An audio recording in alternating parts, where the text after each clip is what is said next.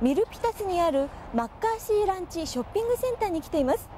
この買い物やお食事に大変便利な場所にマレーシアン料理のお店として大人気のレストランがあります。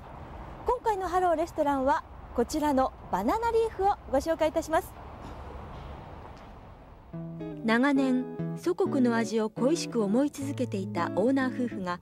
自分たちでその専門店を始めようと思い立ち99年にオープンしたマレーシアンレストランバナナリーフ。その名の通りマレーシア料理に広く使われるバナナの葉をモチーフにした店内は黄色い壁に高い天井。東南アジアから直輸入の壺やオーナー自作のバナナの絵。そして雰囲気あるバナナリーフプラントで飾られ東南アジア独特のエキゾチックなムードでいっぱいです。活気あふれるオープンキッチンで作られる風味豊かなバナナリーフの料理。さまざまな国のフレーバーが入り混じった本格的なマレーシアの味です。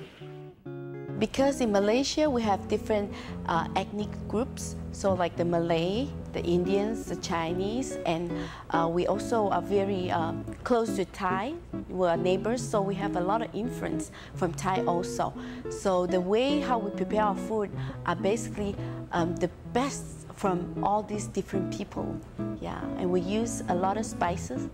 um, uh, fresh ingredients. このバナナリーフが今回紹介する料理まずはじめは 小麦粉ベーキングソーダ砂糖塩などで作った生地を空中で回しながら薄く伸ばし四角く折りたたんでカリッとなるまで23分鉄板で焼いたロティプラタ。マレーシアでは朝食や夜食に食べられるこの薄いパン。今回添えられたカレーソースのようなソース類にディップしたり何かを包んだりシンプルにそのまま食べたりと食べ方もいろいろパリパリとして柔らかいこのロティプラタ。いくらでも食べられる軽い口当たりのアペタイザーです。続いてはマレーシアの高級食材。生姜の花をアクセントに使った料理。まずスライスしたマンゴーを油で炒めそこへ生姜の花をはじめとするさまざまなスパイスが入ったサイアムソースを加えます。ソースに熱が加わったら素揚げにしたエビを入れ手早く混ぜ合わせて仕上げたのがサイアムジャンボプローンズ。プリプリと歯ごたえの良いエビととろりとしたソースとの組み合わせが絶妙なこの料理。ニンニクやチリの辛さの中に生姜の花の爽やかな香りがひときわ際立ちまたマンゴーの甘酸っぱさもとても新鮮。ココナッツライスや通常のご飯ともよく合うとてもリッチで風味豊かな一品です。最後は半分にしたバナナや丸いアイスクリームケーキを衣につけて揚げたデザート。ディープフライドマンゴーアイスクリームバナナ。まったりとした甘さのバナナが全体にリッチさを増すこのデザート。タロイモのケーキで包まれたマンゴーアイスクリームはケーキの厚みで熱から遮断され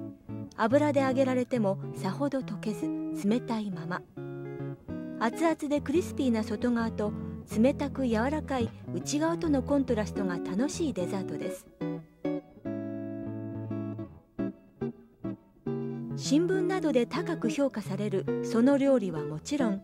店内中に漂うエキゾチックなスパイスの香りや迫力ある調理風景がテーブルからも伺えるオープンキッチンが東南アジア独特の躍動感ある雰囲気を演出するマレーシアンレストランバナナリーフ。バナナリーフは日曜定休。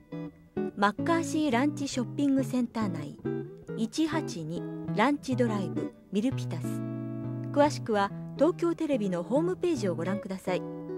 TTB ハローレストラン。今回はバナナリーフをご紹介しました。